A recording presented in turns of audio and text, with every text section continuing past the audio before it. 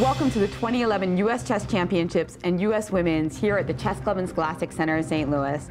The preliminaries are just about done, and we have six players who have locked up their spots into the semifinals.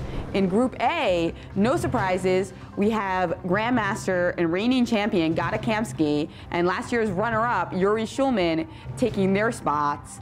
And in the B group, how about that Hess? Robert Hess playing like a Robert of old that we know from the 60s. This guy wins four games in a row in this tournament after starting off a little bit slowly, but he just came on like gangbusters. And in his round six game, he just completely dominated Christiansen. After a dubious pawn sacrifice by Christiansen in the opening, Hess got into this nice end game, and he played this idea of sacrificing his rook on f1, followed by b2. And when Christiansen tried to bring his rook back, Hess queened the pawn, and he couldn't capture because of the fork on d2. So tremendous play, very convincing, and then a nice draw in the final round, and Hess is all the way through, having been the most dominant player so far in the competition. But there's one spot left in the B group, and Shankland and Onischuk are going to be playing a playoff tomorrow, and they're going to both be fighting like mad to get that spot. It starts out with rapid chess, two game 25 with a five second increment. Gotta like Onischuk by rating, but Shankland, the younger player, very good at rapid. He managed to win the U.S. Junior Championship last year and qualify this event because of the rapid format.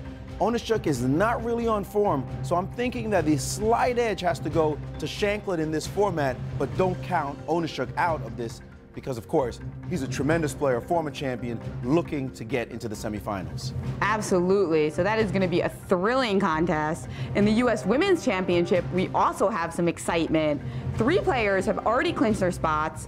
I am Irina Krush, Tatev Abrahamyan, and Kamila Baginskaite.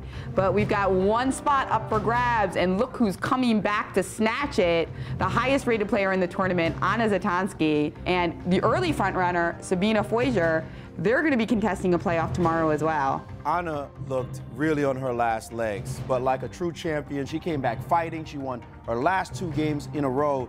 And this kind of fortitude, you know, you expect from Anna Zatonskih. And it's great to see her playing in the playoff with Sabina Foisor, who's got to be disappointed after winning her first two games, now having to play a playoff against the highest rated player in the competition. I think that's going to be a tough road for her to follow.